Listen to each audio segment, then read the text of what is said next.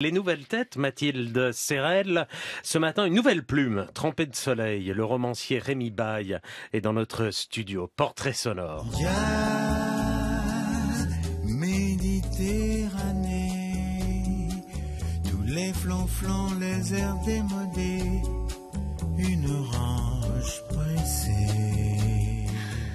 Il a passé une enfance vue sur mer, à Toulon.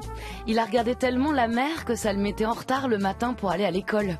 Sa première vocation, ce ne sera pas pêcheur pour autant, mais cascadeur, comme le légendaire Rémi Julienne. Pour une, cascade qui va durer quelques secondes à l'écran, ou à la rigueur euh, une minute, une action habile qui durera une minute, 10 minutes dans un film euh, peuvent demander euh, trois semaines de préparation. Euh, finalement, il optera pour des acrobaties plus théoriques. Élève à Sciences Po, étudiant en philo, c'est à 21 ans qu'il a une révélation devant la mer, à Beyrouth. Il comprend que la Méditerranée est le centre de son monde. Il se promet alors de la remercier un jour dans un texte, dans un texte même si, avec Nos, Albert Camus a mis la barre très très haut. Ce soleil, cette mer, mon cœur bondissant de jeunesse, mon corps au goût de sel et l'immense décor où la tendresse et la gloire se rencontrent dans le jaune et le bleu. C'est à conquérir cela qu'il me faut appliquer ma force et mes ressources. Tout ici me laisse intact. Je n'abandonne rien de moi-même. Je ne revais aucun masque. Il me suffit d'apprendre patiemment la difficile science de vivre qui vaut bien tout leur savoir-vivre. Il a 23 ans, Camus, quand il écrit ces lignes. Ça peut inhiber un peu, un romancier en herbe. Sans compter les tutos sur YouTube, type comment écrire son premier roman, qui ont failli le décourager définitivement. Mais il trouvera finalement l'élan en s'installant à Marseille. Italien, corse, arménien, espagnol ou portugais, mais aussi chinois ou africain. Ici se sont installés tous les peuples du monde, réfugiés presque enfermés dans ce quartier au nom prédestiné, le panier. C'est dans le quartier du panier qu'il a enfin pu écrire son roman solaire.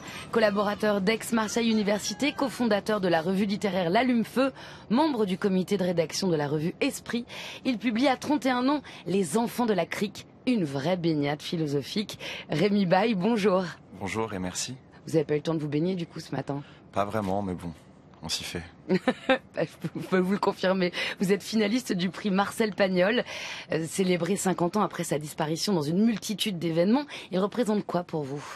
Marcel Pagnol, c'est les premières lectures. Déjà, la connaissance, euh, l'accès au style, puisqu'on parle peu du style de Marcel Pagnol, et ce sont les étés interminables, euh, les aventures, euh, et aussi une douce gravité bien méditerranéenne que j'apprécie beaucoup. C'est le provençal universel, dit-on, vous êtes d'accord? Ouais, complètement. Bah, de toute façon, provençal, méditerranéen, il y a quelque chose d'universel là-dedans, dans, dans ce qui travaille derrière, dans les questionnements, dans ces paradoxes. Je les trouve absolument universels parce que il y a du beau, du grave, du doute dans tout ça, et tout ça est universel. Des sanglots de soleil, comme chez Camus.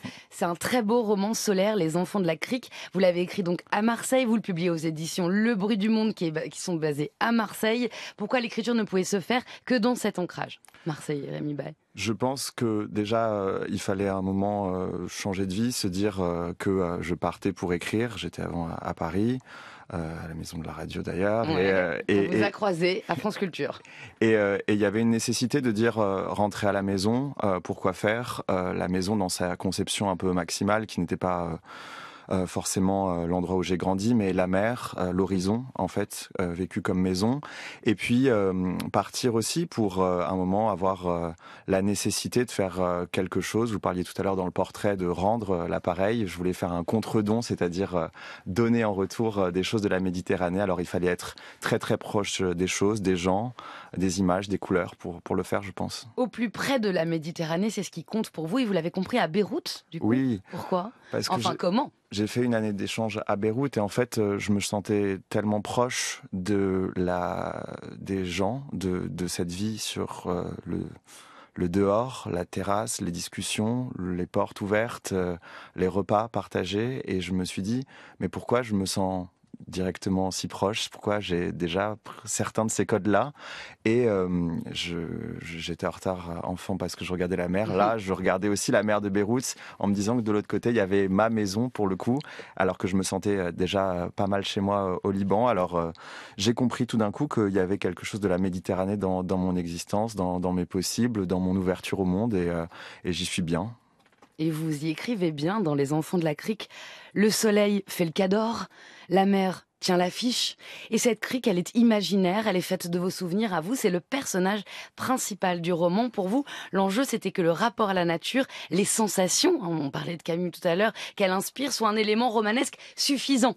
Mmh. Finalement, presque, c'est ça, euh, votre roman, c'est une proposition où la nature, c'est l'intrigue. Oui, parce qu'en fait, euh, euh, la crique, à un moment, un personnage qui s'appelle Coco dit la crique, c'est tout à la fois. Et en fait, c'est cette correspondance entre les gens qui vivent et leur milieu. Voilà, je pense que je voulais écrire sur le rapport au milieu. Et cette crique, finalement, c'est l'endroit où se rencontre euh, cette roche taillée, euh, cette mer avec son bleu infini, euh, le vent qui vient un peu mettre tout le monde en l'air parfois. Et ce soleil... Les incendies aussi, c'est pas non plus une nature idyllique. Il y a le réchauffement climatique qui arrive dans la Exactement. Il y, a, y a de toute façon, pour écrire sur la Méditerranée, la volonté de ne pas écrire de manière béate et de dire mm. que en Méditerranée, ce qu'il se passe aujourd'hui, c'est que les changements globaux en Méditerranée sont plus rapides là-bas qu'ailleurs.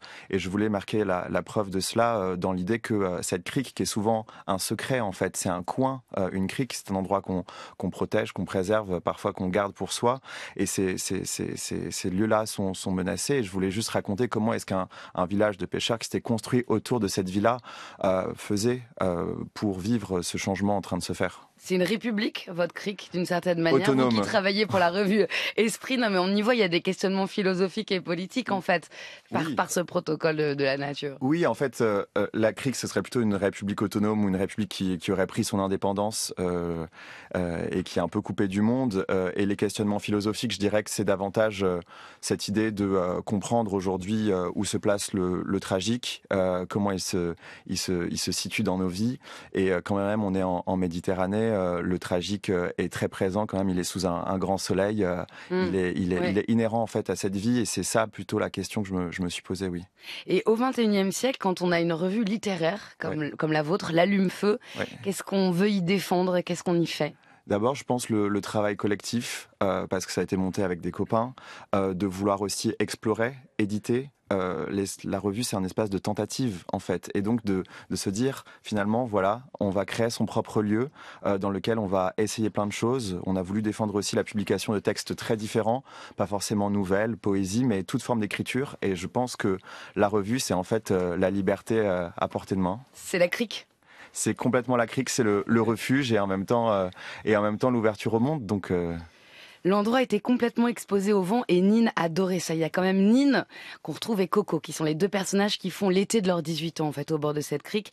Elle trouvait là-bas tout ce qu'elle attendait du monde, les grandeurs et toutes ces questions pouvaient enfin se projeter ici dans un amalgame existentiel. Elle fréquentait à la fois Dieu, la mort et la nature et se sentait comme happée par ses révérences.